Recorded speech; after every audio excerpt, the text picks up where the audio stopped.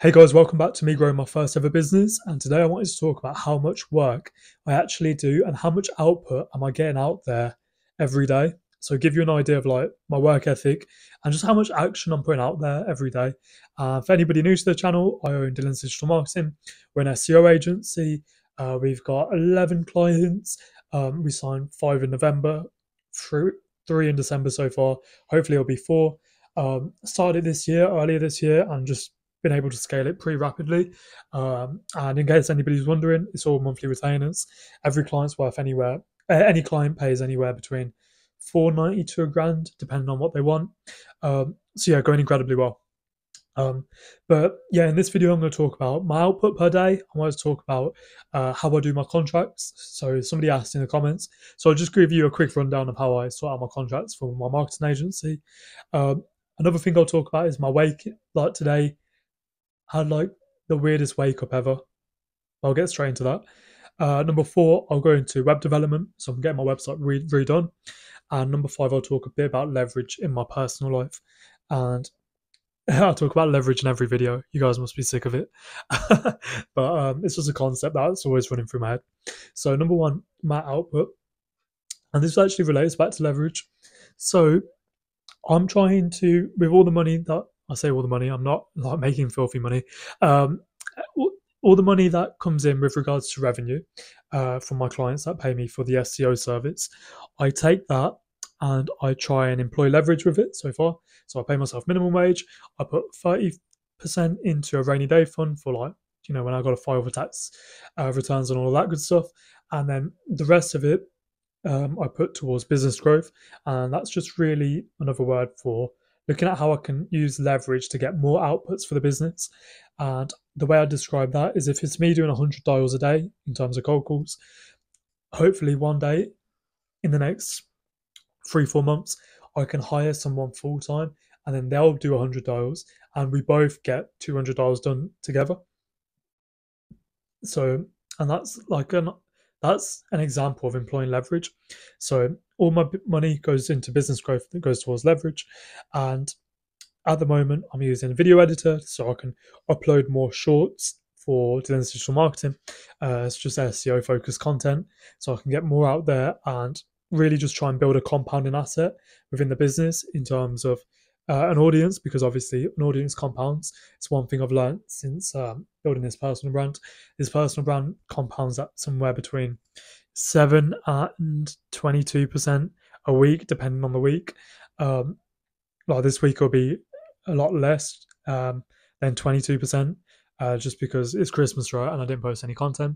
Uh, so I think we'll do about 12% compounding, which is still pretty decent. But Anyway, back to my point.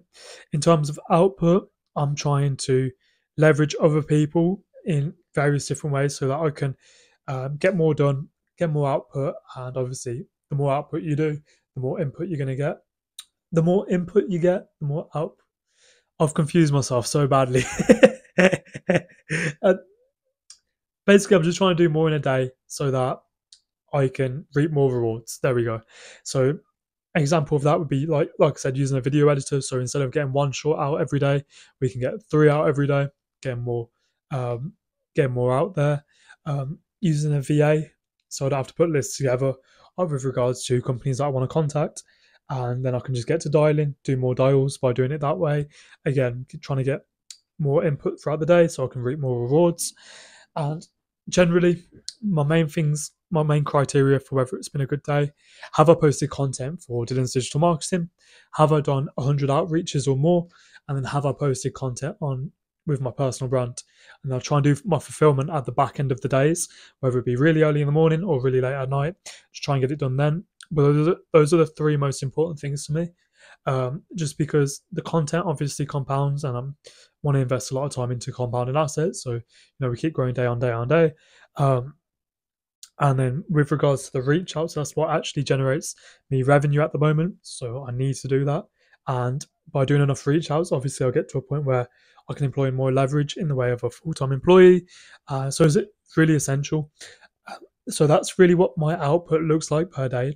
Three shorts on Dhillon's uh, digital marketing. 100 to 200 reach outs per day, and I try and do most of them via cold calls. Sometimes it's cold email and cold DM, uh, but they're highly personalized. But yeah, I pro- prefer to do cold calls just because I can influence the conversation a bit more, and I found much higher success rate doing cold calls.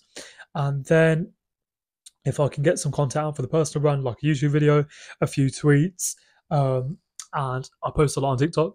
Um, and I can't crack TikTok for the life of me. I'm like the worst TikTok creator ever. But I think with TikTok, you have to manufacture it right in terms of like day in your lives, um, coming up with like video ideas.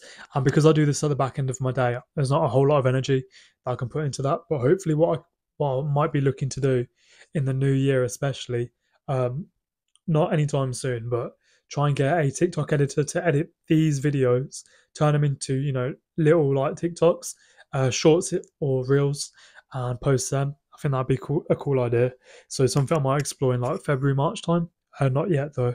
Um, so that's really my output per day, and I'm just gonna keep because there's only so many hours you can work. So I'm really just trying to keep thinking of ways where I can outsource tasks so I can get more done. Um, yeah, as my revenue keeps going up, just investing more into labor so I can get more done. And that's really the plan. But and somebody asked me about how I set my contracts. So my contracts, um, I offer a 30 day full refund. This is for any SEO client. Uh, it goes through everything that I can't control. Like I have no control over ranking positions being an SEO. What I can do is try make sure your website follows best practices and try and influence the rankings that way. But me myself, I don't, you know, create Google's rankings. Um, so the contract stipulates that. So it's not a results driven contract. It's like I said, a monthly retainer where we agree on a set amount of work. Sometimes it's project based. Sometimes it's hours per uh, per week. Um, and yeah, what else could I mention with contracts? Uh, how I do my invoice is always due on receipt. Um, I prefer doing it that way instead of waiting, you know, 30 days for someone to pay me. It's due on receipt. So as soon as they pay me, then I start, then I get, uh, then I get cracking with regards to doing the actual SEO work. Um, is there anything else worth mentioning? It's very standard, the SEO. I just do a contract. I do it on PandaDoc. Uh, if you're wondering, it's just for ease. Like you just send it across they can fill it out within seconds and it comes back to me. Um, every, when I when I close a client, it's just a PandaDoc. It's a payment link and there's an invoice, PDF invoice, um, and that's it. Like, it's dead simple. Uh, the contracts are for six months. It's worth mentioning, and then it turns into a monthly retainer. So, and actually, that's just reminded me of something that I've got to do later today. Um, sorry guys. Um, basically when something pops into my head i have to write it down. Uh, otherwise it's like gone forever right? Um, so yeah. And that's really the contracts but if there's any in particular questions you want to ask and like i said the price uh, is anywhere from 490 to a thousand pounds and I scale pricing with my experience. So I started off really low, well, like way below uh, industry average. And as I got more experience, as I was able to deliver deliver results, I scaled the pricing by like 20%, and now it's at an all time high. Um, and that's nice, right? Because we're making more profit with less fulfillment. Like, say if you're charging, you know, this is a, an example, by the way. Um, say if you're charging £100 per client, you'd have to do 10 lots of fulfillment to earn that grand per month. Whereas if you charge a thousand pounds, you know, then you only have to do one lot of fulfillment to obviously make the same amount of profit. So scaling the profits the number one way that you can increase your scaling your pricing is the number one way that you can increase your profits. Um, I learned that from Alex Hormozi. Um, don't shoot the messenger. It's just something that I found to be true. Um, and yeah, actually, what, what I want to talk about is me waking up today. a very interesting topic. Uh, I set an alarm for five o'clock like I normally do, and I don't know, like I've never felt so tired in my life. And let me know your thoughts on this. But like for the life of me, I could not get out of bed. Um, I weren't scrolling my phone. I just woke up, like opened my eyes a little bit. I had this banging headache from being awake, I guess, and um, I like crawled up, I made it out, um, sat up, and like my head was spinning. Um, I don't know, I just could not wake up, and I was like, I feel like so like drained, fatigued I just lied back down and I woke up about I want to say nine.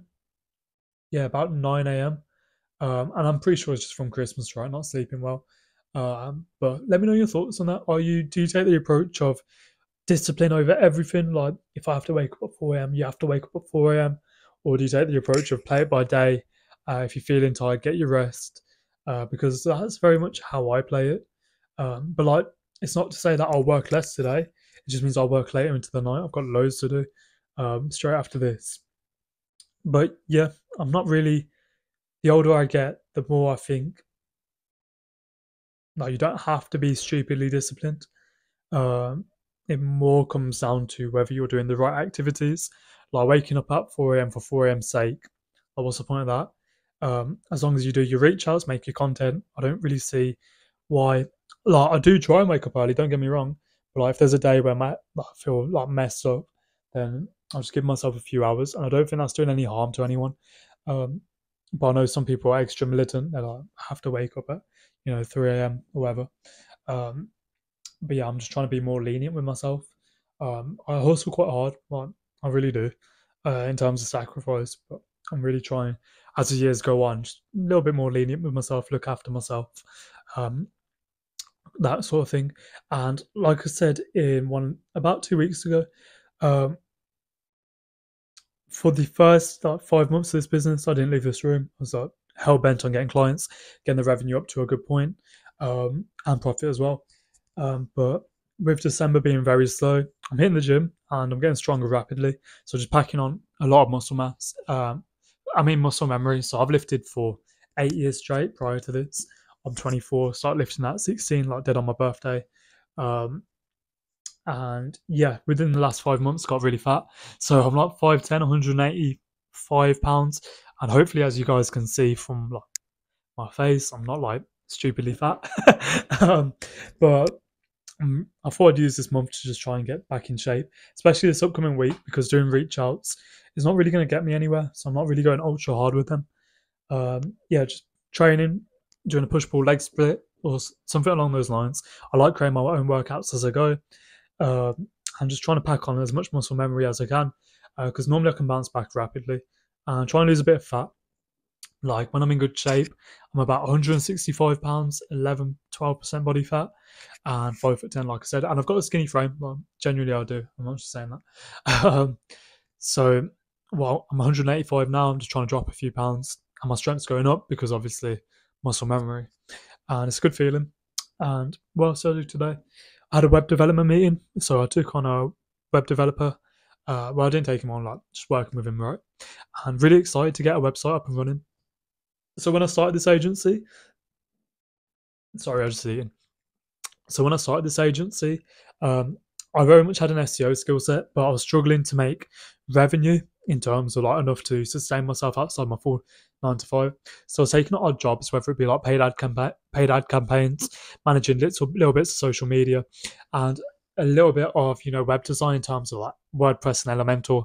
I would not call myself a web designer at all, and if anything, I shouldn't have done that if I'm being completely honest. But I was just like so desperate to like start making a little bit of revenue that I took on jobs. So consequently, on my website, um, like this is going back to May.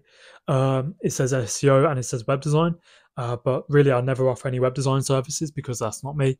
I've got good SEO skill set, and I really should never have taken that work on. But like I said, I was trying to you know just make a few pounds so that I could sustain myself. Um, but yeah, I'm working with an actual web designer now. Uh, he's a million times better than me, and I'm gonna get a nice website up and running. Uh, really excited for that. Run adverts to it in terms of Google Ads because I've got the budget now. Try and start off with maybe 50 to 100 pounds per day, and see if how many leads we can get, and just try and learn the paid paid ads game whilst learning the content game, whilst learning the well, I've already, already got the cold outbound skill set, but it's quite um, it's quite a lot, right? The fast, the more time that I invest in it, the faster I learn all these skills, the more results we see. So I'm excited to start learning the paid ads game. And I might start looking at leveraging my personal life when the revenue gets to a good point. And by leveraging my personal life, it just means employing labor to move towards the goals that I like in my personal life outside of business and outside of the personal brand. such as you know building a good physique. I've had to put that on the side back burner for so long, so I might just hire like a fitness coach, bodybuilding coach.